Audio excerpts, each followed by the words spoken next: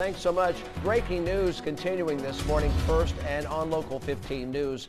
Firefighters have been on the scene of a four-alarm house fire in the 6,000 block of Wilmer Road for about two hours now. Our Local 15 Stephen Quinn has been live from the scene all morning. And this was a close call for a very large family, Stephen, but they are okay this morning, but we still feel for them. They've lost a lot. They have Darwin. We'll get to them in a minute, but the danger still continues for the firefighters that are in our area. Darwin, I want to show you.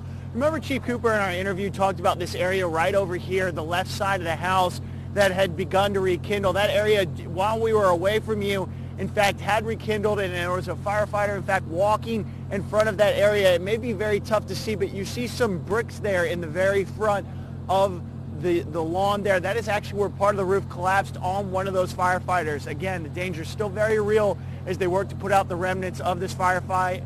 That firefighter himself was okay, but again, underscoring Darwin, as I mentioned, how this is a tough and long process and how it's very dangerous what these these volunteer firefighters have to do. Many of them will in fact have to head back to work. A few of them approached me just a minute ago wanting to know what time it was. Again, some of them having to be at work. You mentioned the McDowell family, a family of five, along with uh, Mr. and Mrs. McDowell. They, as we mentioned, they weren't able to make it out of here okay. They do attend Wilmer Baptist Church. Again, if you're trying to get a hold of them and would like to, to take care of them, they do have a home, thankfully, next door. And they are, I'm told that they do have a safe place to stay today, but obviously a very close call and still a very uh, dangerous situation for the firefighters who are trying to put out that fire here off Wilmer Road. Darwin?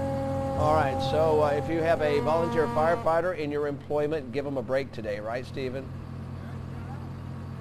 Absolutely. These guys have had a long, tough day. As you, as you heard Chief Cooper saying, they got the call around 2.30 this morning, and him telling us again that they expect to be out here for at least another three hours, maybe more. So it's going to be a very long day for the men and women of the volunteer fire departments here Mobile. Okay, we'll try to get a shout out to all those departments a little bit later on this morning. Thank you so much, Stephen. We'll check in with you in a few minutes.